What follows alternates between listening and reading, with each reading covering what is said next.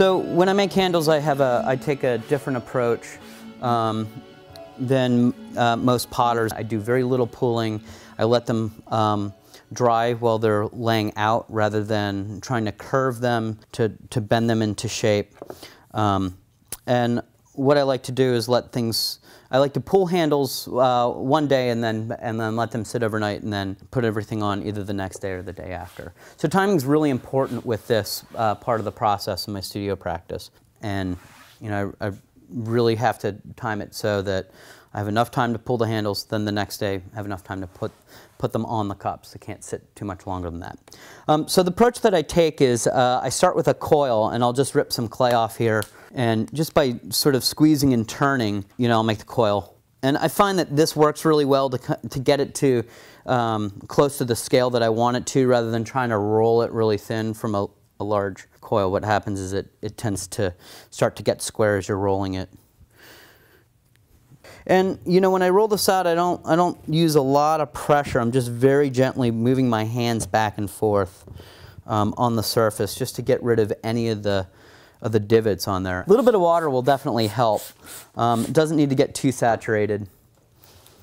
And you know what's nice about this is you can get, uh, if, you're, if you want to make uh, handles that are consistent from one to the next to the next, this will help because you're sort of setting up a method where everything's the same thickness. But um, I'm just going to start by taking my fettling knife here and cutting the end off and then cutting uh, in, you know, about an inch and a half to two inches. And then from here, I will roll this and taper it into the center even more. And what this does is it, it forms a handle that is thick on the ends and then tapered in the center without doing a lot of like pulling and finessing to try to you know, get it that way. It's already sort of built into the, the structure of the object. So just a little bit more water down onto the table. And uh, when, i when I do this technique, I like having a, a spot that's sort of damp where the um, canvas has been sprayed with water and then an area where it's dry, but clean of any, any debris. And then so I'll just throw this down and let gravity do the work and then come over to a spot where it's a little more dry to finish up. After a while, it likes to start to stick to, the, to where it's wet. I'm going to take a somewhat damp sponge and just uh, compress that handle down a little bit. Um, and what this does is it allows you to um, get like a really nice line on the edge. So I'm just going to grab a little bit of water and, and just get this a little bit wet and just pull very minimally, just to stretch it out enough.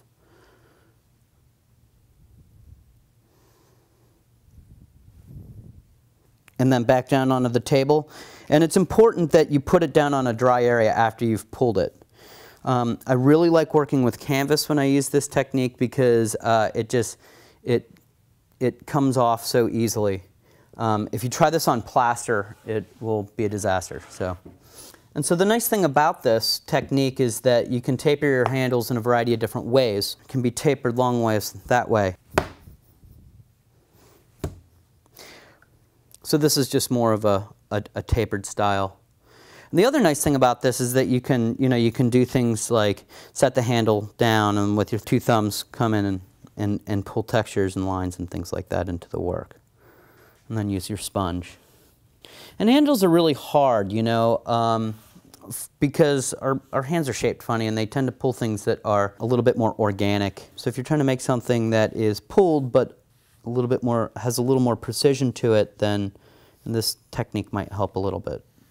So I'm going to add the handles to these two cups and uh, first thing I really like to do is elevate the cup and have it so it's more at an eye level or, or in an area where I can sort of crouch down and, and get an idea of you know, the profile and how far it's sticking off the cup. So just to start, you know, these things generally will sit overnight and uh, the next day, you know, they're, they're still rigid, but they're, they still have some flexibility to them. So what I'll do is I'll just take a little bit of water and just kind of add it just to kind of get some malleability back into the handle, but it's still pretty, it's still pretty flat.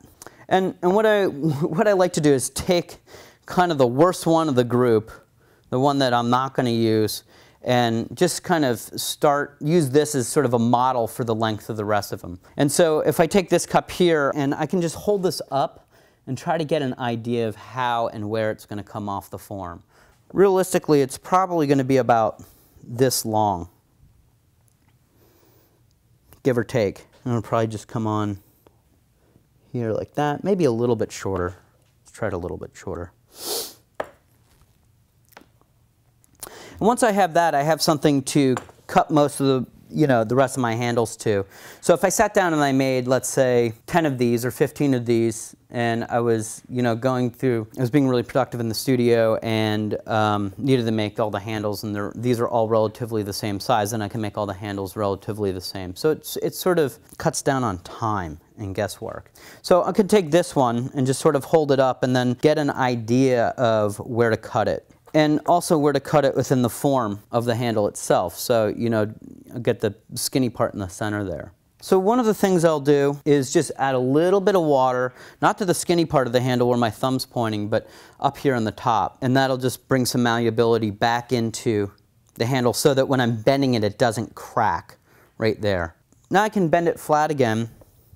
And so there's, there's a couple different things when you're, when you're putting handles on a cup to decide. Um, first of all is, is the height from up and down, here to here. You know, where's the handle gonna, uh, the top of the handle gonna rest? How far is it gonna stick out? Where is it gonna attach up here? Where is it gonna attach down there? So one of the things that I found is both functionally and visually pleasing is having the handle, the top of the handle sort of be in the middle part of the cup. And, you know, so that when you're holding it, it's not top heavier if it's um, place, if the handle's placed lower on the cup, it'll be top heavy. If it's placed higher on the cup, it'll be bottom heavy. This is a great cutting tool. I, the ribs are great for a lot of different things, but um, and just taking the corners off here, and then um, down on the bottom here. And it just gives it, you know, sort of a, a really nice round shape. You don't have to try to cut it, make it all jagged. Um, it just does the work for you. And you know, I mean, that'll relate to sort of the circles and then the and then the circular aspect of the rim. And the next step is uh, to take take my handle and just sort of cut it on a bevel here. And I'm just going to place the fettling knife sort of halfway and just slowly move it towards me. And then place it flat on the table and just push it down with my thumb. So really the idea is, is to kind of sculpt the handle a little bit before it goes on the pot. And then the same is going to happen on the bottom. I am just going to cut here and then clean that up. Clean up the edges with a sponge. And just keep this kind of wet right in here so that this area is really malleable. Um, you know, when you're first doing handles, uh, it's really nerve-wracking because you have this thing, it's flimsy, it starts to get really wobbly on you. Um, you know, the nice thing about this technique is that the, uh, the clay sat up overnight. It's to a consistency where it's not recording fingerprints, and as I'm handling it, it's not getting bent or mashed.